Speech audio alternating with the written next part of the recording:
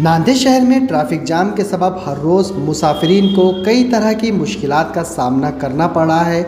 लोगों के इन मसाइल को देखते हुए मजलिस इत्तेहादुल ने कमर कस ली है।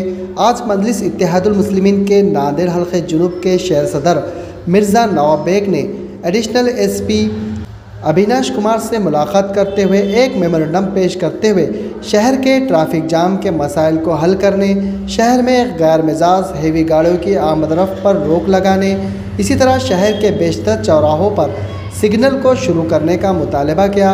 इस मौके पर मजलिस के यूथ शहर सदर शेख नूरुद्दीन बशीर लाला के अलावा दिगर जिम्मेदारान मौजूद थे।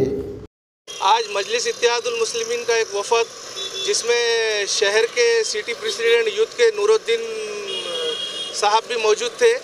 आज हमने नांदेड़ शहर के जो ट्रैफ़िक के जो गंभीर हालात बने हुए हैं, उसको मद्देनज़र रखते हुए यहाँ की अवाम को जिन तकालीफ का सामना करना पड़ रहा है, उस चीज़ को लेकर आज एडिशनल एसपी साहब अविनाश कुमार साहब से मुलाकात की और उनसे इस बात पे मांग की कि नांदेड़ का जो ट्रैफ़िक ब्रांच है, वो जो यहाँ की ट्रैफ़िक को नियंत्रण करने के लिए बनाया गया है। लेकिन वो लोग ट्रैफ़िक को नियंत्रण ना करते हुए सिर्फ़ लोगों को फाइन मारने का एक काम शुरू किया है।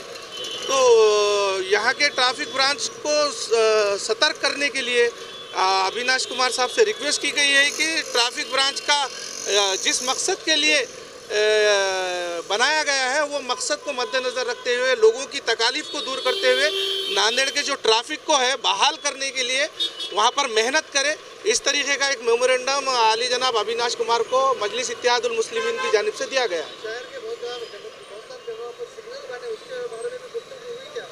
जी हाँ ये जो सिग्नल बने गए हैं इस बारे में भी अविनाश कुमार साहब से तफसीली गुफ्तु हुई है और उनसे कहा कहा गया है कि भाई ये सिग्नल को चालू करे।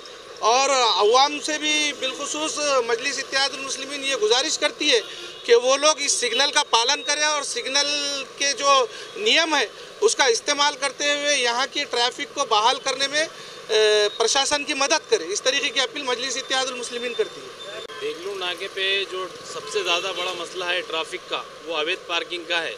अवैध पार्किंग को ना नगर पालिका हटा रही, ना पुलिस प्रशासन हटा रहा इसके लिए सबसे ज़रूरी है कि पुलिस प्रशासन सतर्क होकर काम करना चाहिए और जो वहाँ के स्कूल के लड़कियों को आने जाने के लिए तकलीफ़ हो रही है, एक तो वो होटलों के सामने लेबर ठहर जा रहे लेबर ठहर जाने की वजह से रास्ता कम रह रहा और पार्किंग रह रही और आठ फीट का रास्ता रह रहा जबकि चालीस फीट का इधर चालीस फीट है, उधर चालीस फीट है।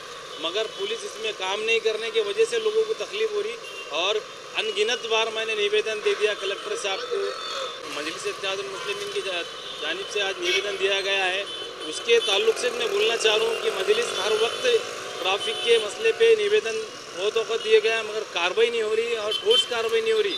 आज देख लो नाके पे फोर व्हीलर का पॉइंट इतना बड़ा है और जो ट्रक रोड पे ठहरे थे, वो ट्रकों को नहीं हटा सक रही पुलिस।